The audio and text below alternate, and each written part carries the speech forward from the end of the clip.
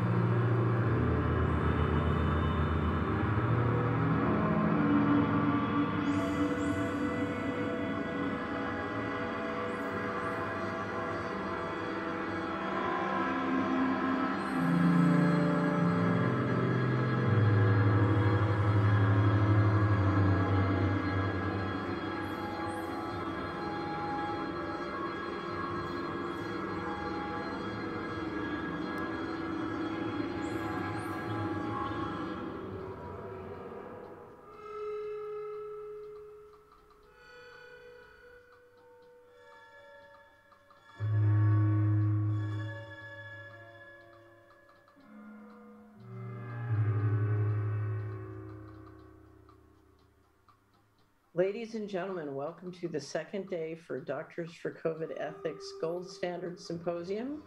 We're going to start off this morning talking about something that came up a lot when we were covering both health and economics yesterday, and that is the propaganda matrix.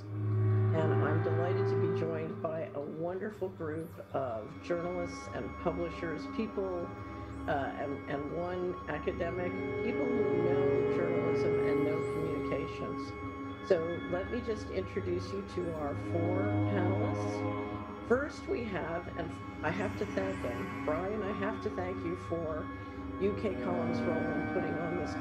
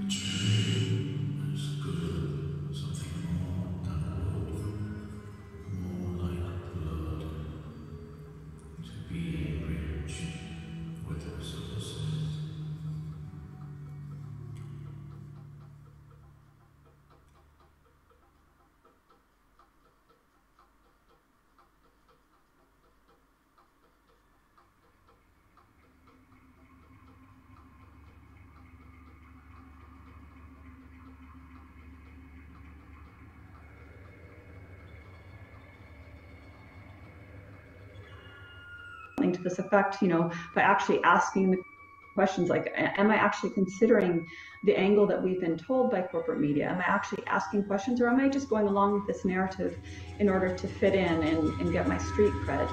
Um, the the other thing um, uh, in terms of the talking points that are um, still like after the elections being pushed is this mocking of the fact that uh, the president is actually extremely popular in Syria for a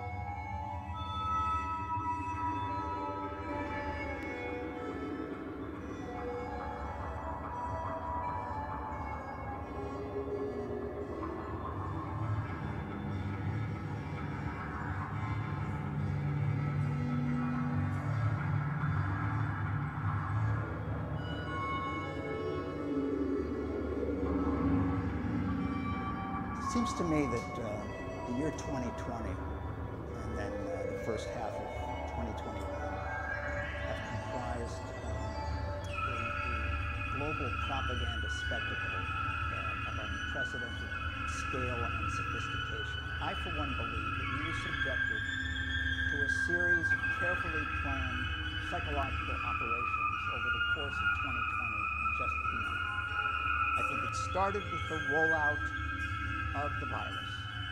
This particular instance of fear mongering is the most persuasive, the most um, compelling, the most devastating kind of fear mongering uh, you know, that's ever really been used in the history of propaganda. And that's really saying something. We've seen the, the, the, the fear propaganda uh, move from the Hun terrorism, but now it makes the crucial move to the thing itself, the thing uh, with which previous uh, uh, enemies have been compared. The evocation of the virus is all around us, you know.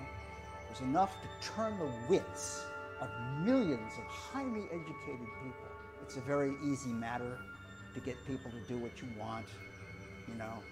Uh, just convince them they're under attack and that anyone who argues with that claim uh, is putting them at risk.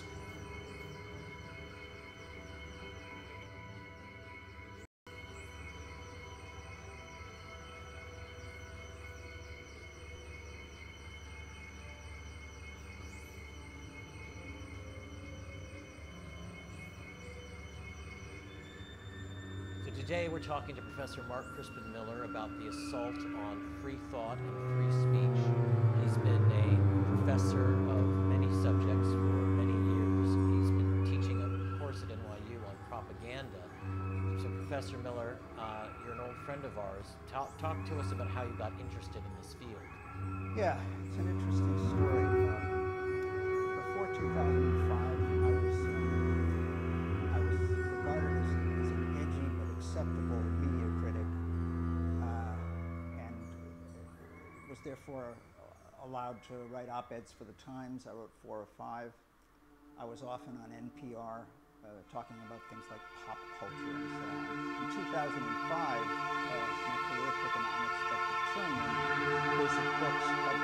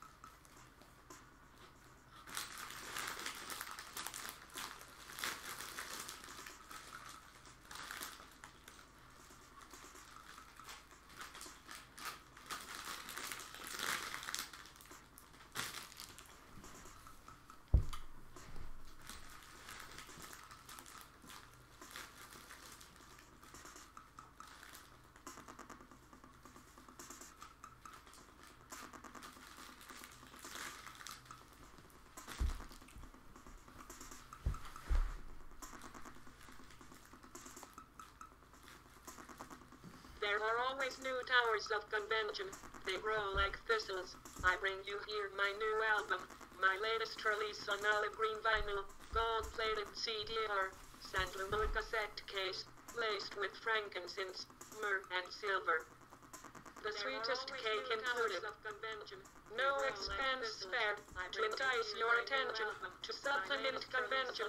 Let us lay a wreath at the altar of bespoke production for the exclusive attention of those gatekeepers who monitor the drawbridge to their ivory tower. It's diligently kept clean, for each gatekeeper is like a speaker broadcasting the news of what should get all the news. But only other tower dwellers can actually gain entry.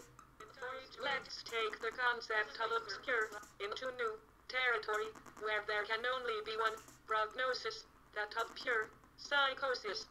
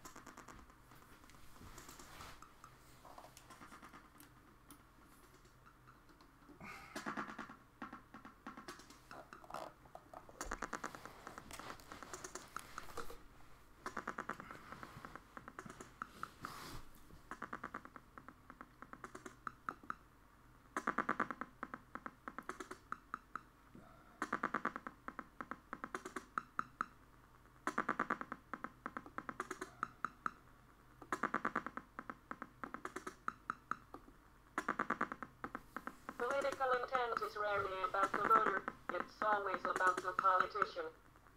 just a question of incompetence, not really political anymore. The flaw is shared between all party goers. Free riders surfing the legacy of intellectual debate that opened the gate to shared society, never perfect but always evolving, progressing, expressing sometimes distressing facts about our milieu. The center of a loop is like a hoop that we jump through,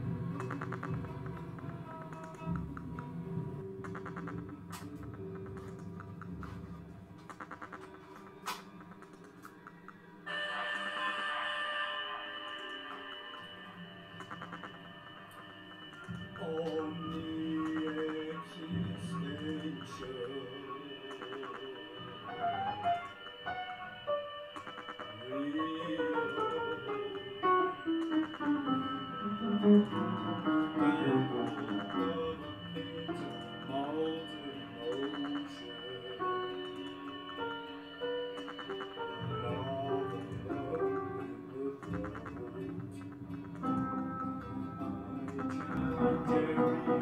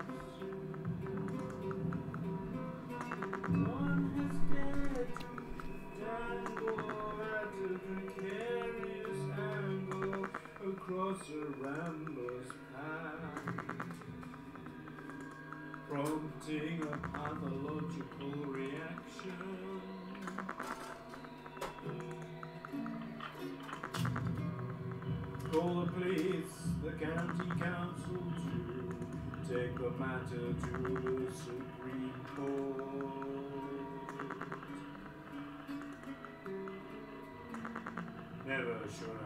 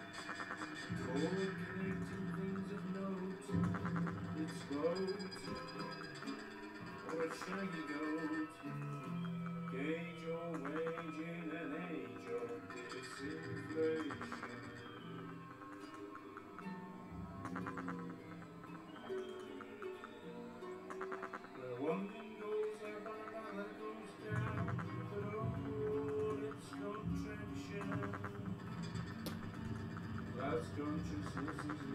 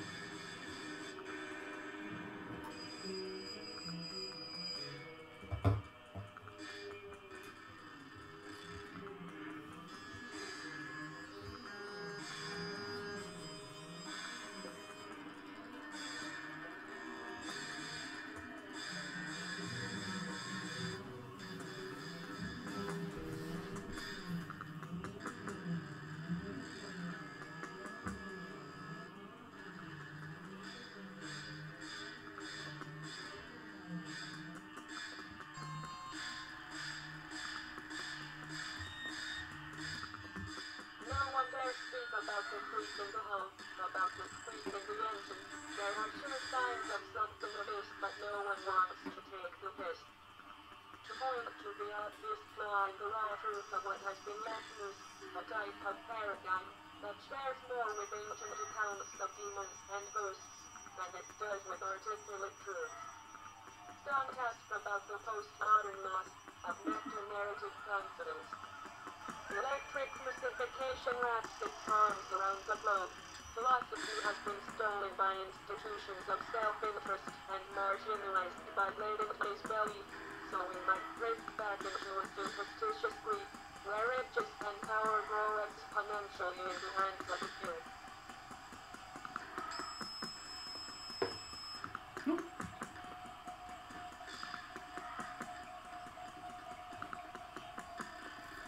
It's easy to imagine that some big conspiracy is going on. Things seem so fictional. It could be a storyline straight out of a Philip K. Dick novel. But then, the reason these stories are so compelling is because they're tapped into the same vein as history. History is a sequence of rise and decline at first. Point in time, we are right in the hands of entropy. All physical systems suffer decline and decay and social systems are no different. We should expect these things to happen. A sensible maintenance program means recognizing these traits. We should have a reliable service program at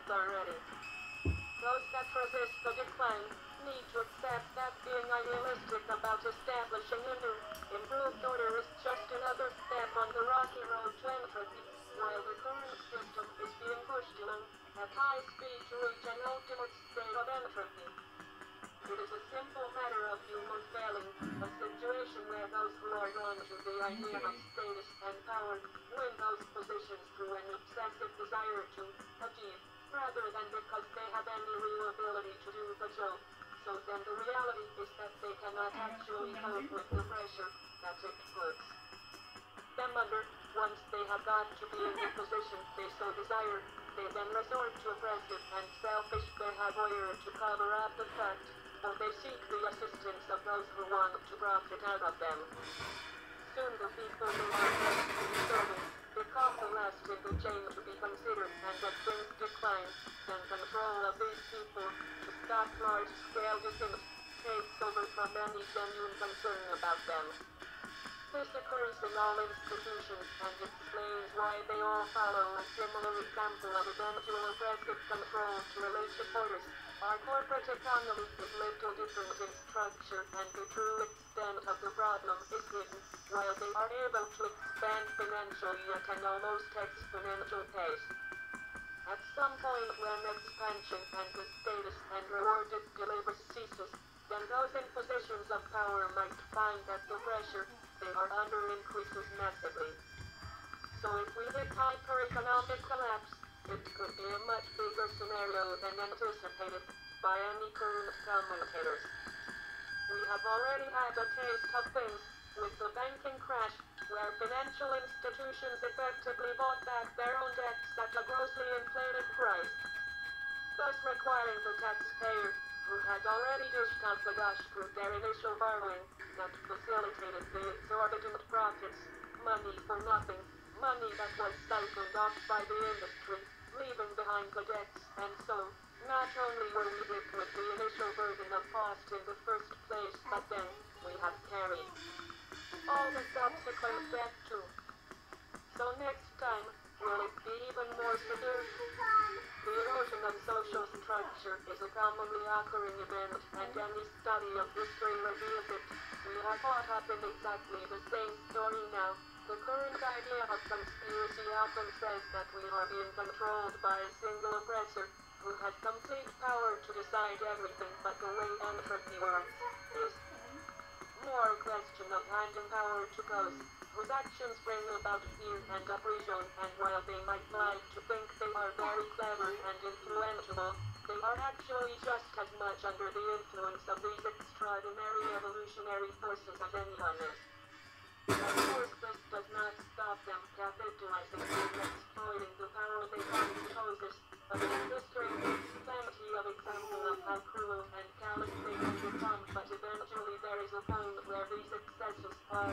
kind of social collapse.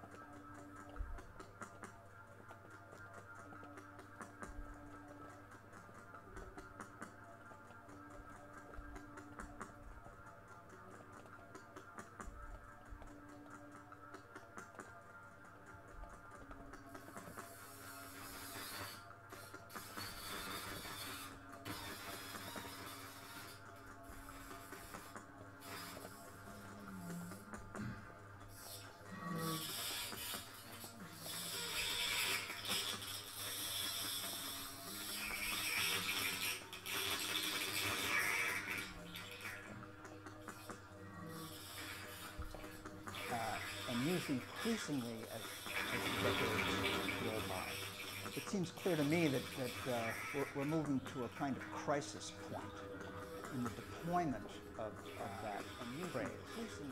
Uh, because the authorities, the press, the state, uh, now use the phrase openly and explicitly as um, In reference to who? Who are they ta- labeling with well, anyone who raises questions about using the phrase prevailing propaganda narratives. They happen to be anti-vaxxers and conspiracy theorists.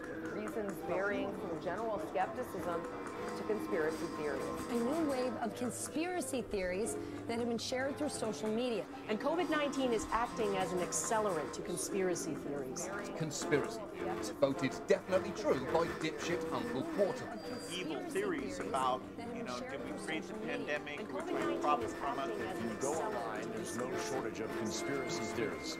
All right, so here's one. The virus was bioengineered in a lab. These clean-cut conspiracy narratives are designed to play on your pre-established suspicions. Let's start with the most widespread theory, that the virus escaped from a Chinese laboratory. It is very, very strongly leaning towards this could not have been artificially manipulated. Some of you probably have heard from a certain corner of the right is this theory that the coronavirus code escaped from the lab. The email sent to you said conspiracy theory gains momentum. And this again is the idea of the lab leak. So, how did we get here? With America's most prominent public health expert saying that the lab leak theory, which was previously hawked by conspiracy theorists, might actually be credible. Questioning propaganda necessarily means taking conspiracy theory seriously. When someone calls you a conspiracy theorist, they've already lost the argument because that epithet is a way to prevent discussion. A lot of these fact checks, you know, that kind of thing, you know, that are now, dare I say, pandemic, you know, you do a search on practically anything Google will give you first is page of denials, and rebuttals, and fact checks, and all that kind of stuff, right? You have to go way, way, way down to find the actual story itself, to all the hoax, right? Well, that's because in defending the propaganda narrative, they don't have an argument. They don't have a defense. They have none. They basically try to fill people's minds with derisive portrayals of the people uh, raising the question. It seems to me that uh, the year 2020 and then uh, the first half of 2021 have comprised um, global propaganda spectrum of unprecedented scale and sophistication. Let's go back and um, let's do a kind of,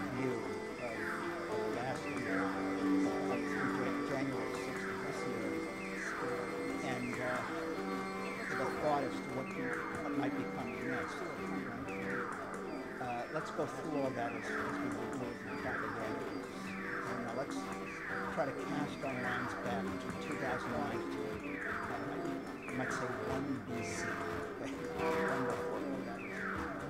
It's worth noting that uh, 2019 was characterized at the end of the year in a pretty perceptive article in Extra, which is the magazine of fairness Act, noting, noting that 2019 will go down in history year If the authorities were hoping that this protest movement would fizzle over time, they were terribly wrong. Even pouring rain hasn't dampened the protesters'. They made the point that the overfocus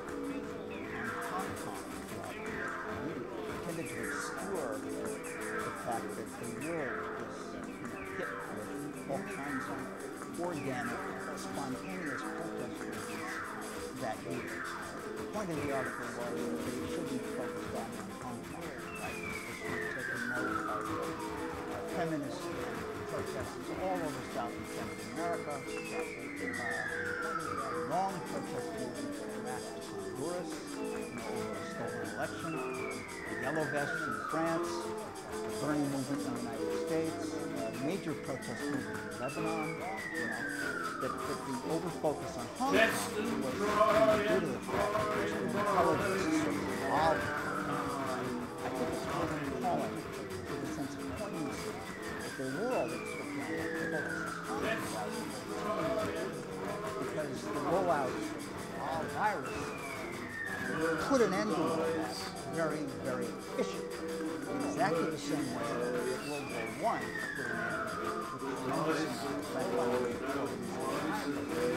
I put an end to it. I could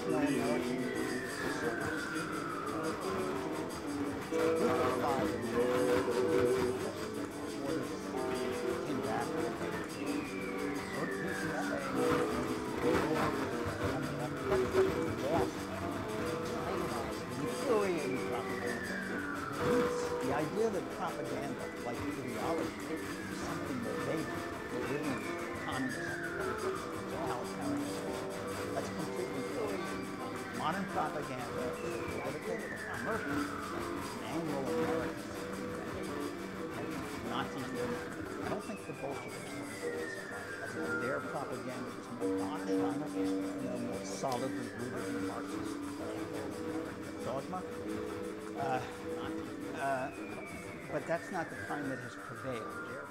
And so, what distinguishes this one from, you know, you know, the COVID propaganda drive rollout from, say, the World War I propaganda? What makes it so much worse? Well, we, we can regard the history of fear-mongering in propaganda as a, as a process of making the enemy ever uh, more inchoate and pervasive. Okay? And the Germans there they are on the battlefield. That's their helmets and all that stuff. That's a nation uh, at war. Okay, that sort of gives way. Uh, the Germans, a few decades later, to the specter of uh, communism. So, so the enemy becomes Soviet communism, which is already more demonic than the Hun. Does anybody know that? This is the kind of thing that Hoover Right, he compared it to an epidemic, didn't he? did. Communism in reality is not a political party. It is a way of life, an evil and malignant way of life. It reveals a condition akin to disease that spreads like an epidemic. And like an epidemic, a quarantine is necessary to keep it from infecting this nation. We've almost gotten right down to the metaphor itself, haven't we? That's exactly right. The one we all know is the Like an specter epidemic, of quarantine is necessary to keep it 9/11 now conceives the enemy as almost as an abstraction. That's an abstract noun. Right, it's an abstract noun. Makes no sense. 9/11. Our war on terror begins with Al Qaeda, but it does not end there. It will not end until of global reach has been found, stopped, and defeated. But it was very important to you know, denationalize the enemy, you know, by claiming, well, yeah, we'll bomb Afghanistan, although they didn't attack us, because they're harboring, you know, and this is, you know, a mental image that calls up of this sort of vast, teeming, swarthy mass of terrorists, you know, who are, who are actually concealing their Islamist uh, extremism and so on. And there's the idea that this could be infectious too. catching, It's catches, it's catching in the prisons and so on, right? And indeed, you know, starting in 2014, we have various world leaders uh, comparing conspiracy theory to the spread of this kind of ideology. David Cameron, you know, basically says that, that conspiracy theory is a way for jihadists to be lured into this very destructive machine and blow things up. You know, notice. Radicalizes We know this well. The peddling of lies. That 9-11 was somehow a Jewish plot, that the 7-7 London attacks were staged. In the following year, Francois Hollande in France, addressing an, an audience of Holocaust survivors, says the conspiracy theory is, is you know, something that, that infects people with violent anti-Semitism. Anti-Semitism. It has changed its face, but it has not lost its roots of thousands of years. Some of its methods have sadly not changed since the beginning of time. It's still conspiracy, suspicion, classification. So we've seen that the fear propaganda move from Hun to communism to terrorism, but now it makes the crucial move to the thing itself, the thing uh, with which previous um, enemies have generally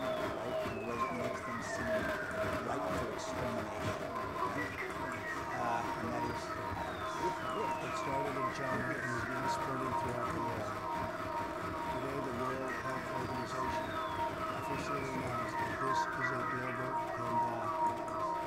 We have been in frequent contact with our allies and we are marshaling the full power of the federal government and the private sector to protect the American people. This is the most aggressive and comprehensive effort to confront a foreign virus in modern history. That is something that can be on the surface. That is something that can be adhering with fingers just because he loves you. That's something that's coming out of longings of our fellow citizens. Something that's sweet. It's just dying, you those people that died in the Spanish flu. That's the fantasy. It is complete fantasy. So you must not even know that you're infected and be completely asymptomatic and then spread it to somebody else. There is no uh, asymptomatic transmission of the virus. We don't even know what the virus is. It's never been isolated, right?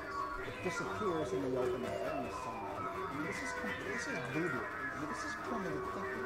How do we know there's no asymptomatic transmission? This has been well established since a major Chinese study came out. There are all these stories of alleged super spread events, and you dig into every one of them, there wasn't any such thing. It's a fantasy, okay? A place where the virus did arguably spread was in those nursing where uh, either Democratic governors or, or politicians had written handouts in Sweden how COVID was reporting weakened uh, old people who were susceptible to some kind of viral infection. I say that in a tentative way, but what I'm saying is that this is a completely irrational fear. Is kind of primordial fear. The reason why people, you and I know, have understood every previous form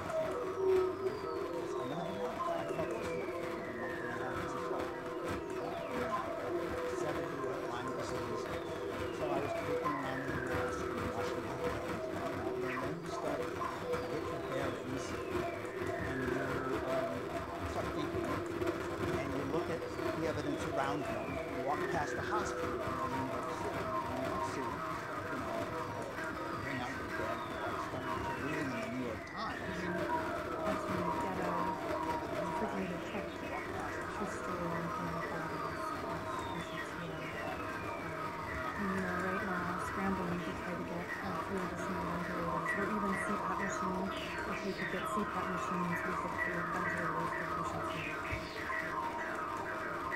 Why is there such a demand on ventilators and greater discomfort?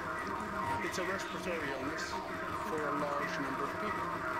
So uh, they all need ventilators. Anyone who believes that China was the West on this whole thing all along, and I bolster that by also noting that it was China that ventilator policy that the World Health Organization recommended to the whole world, right? and those ventilators uh, killed, say, nine out of ten elderly people air go out their lungs, and it was that young doctor, Cameron Kyle Seidel, uh, in Brooklyn, in the Maimonides Medical Center, who noticed that putting people, uh, intubating them was just a way to kill them because they had, uh, you know, low oxygen levels in their blood. It was more like high altitude. And as we know from travel nurse, uh, Erin Marie Olszewski, uh, who, you know, recover and uh, was uh, hospitalized uh, they, they seem to be playing this macabre game of. It's basically doing things to people. Be sure to kill them.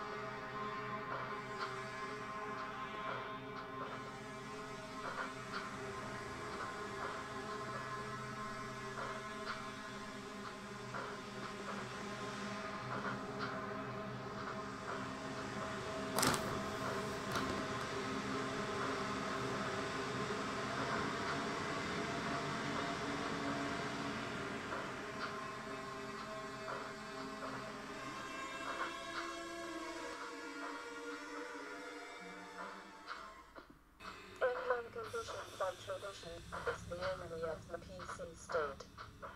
Individuals surviving beyond the control of the corporate or state institutional structure.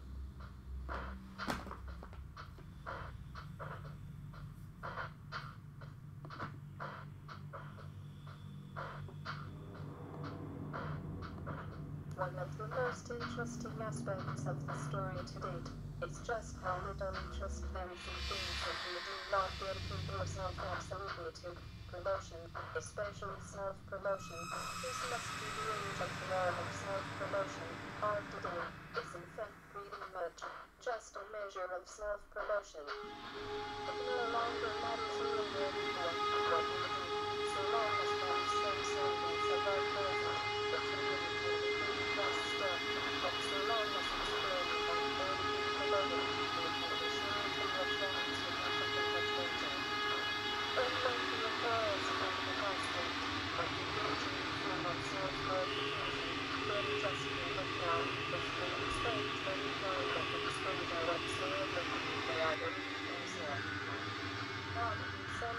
constant trust instead of everyone. Example somewhere, it's just that no one has taken the slightest bit of notice of it because the author or artist did not bothered to post, post.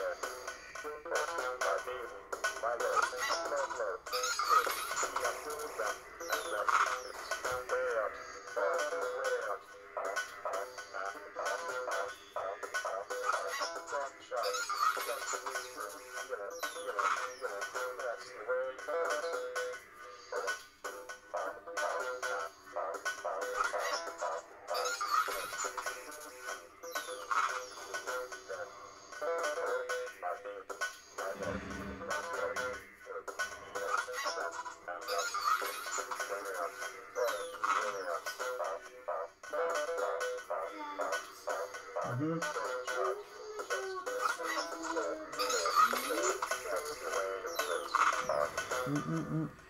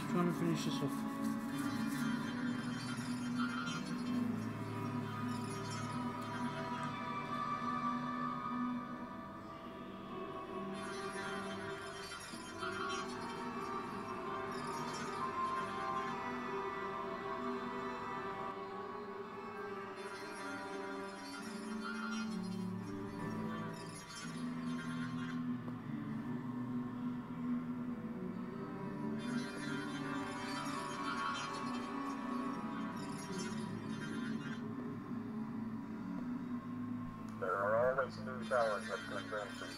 They grow like business. I bring you here my new album, my latest release on out of green vinyl, gold plated CDR, sapphire perceptions, laced with frankincense, myrrh and silver. The sweetest cake included. No expense spared to entice your attention to something in convention.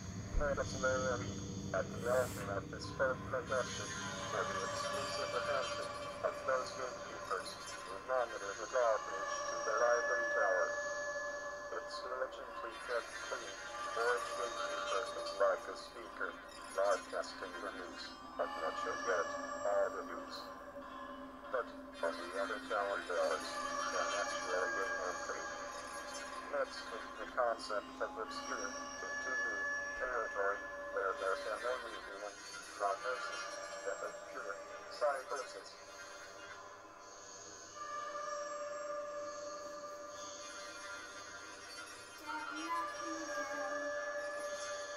Hang on a minute. You're going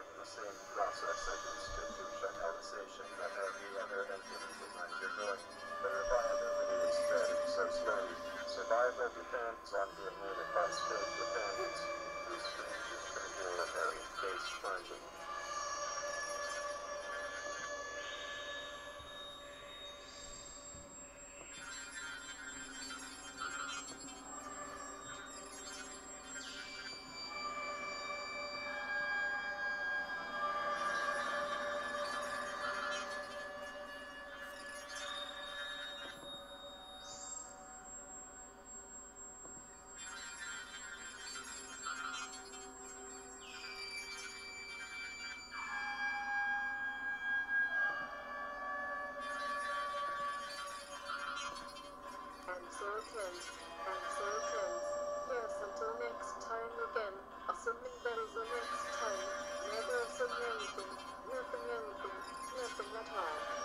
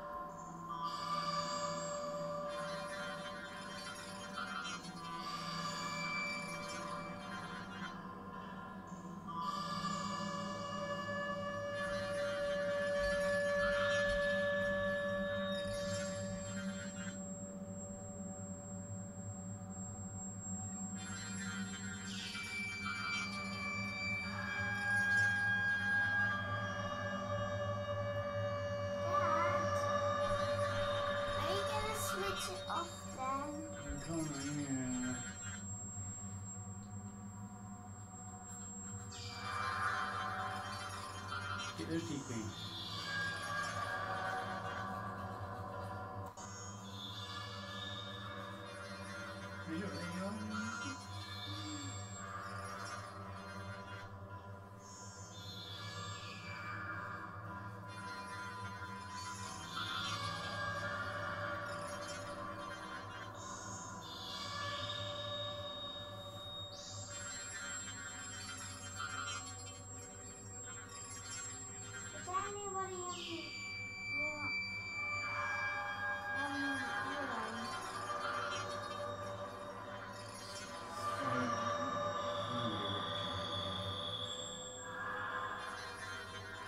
Put it up on YouTube. and-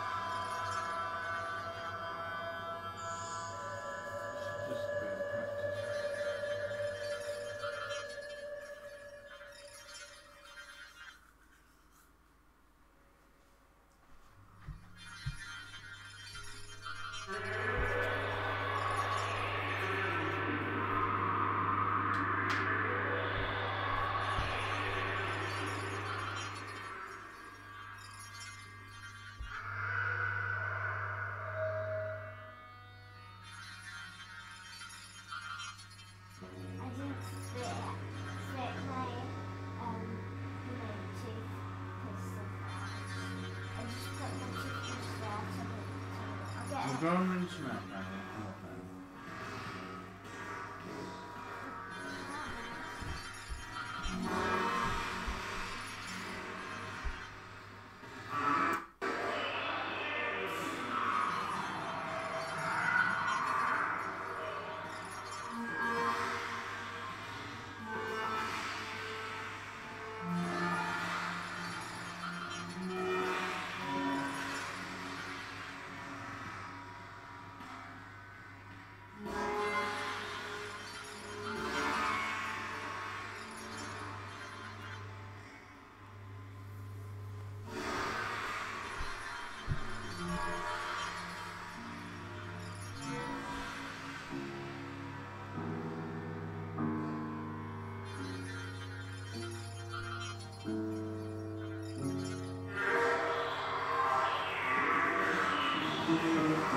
Mm-hmm.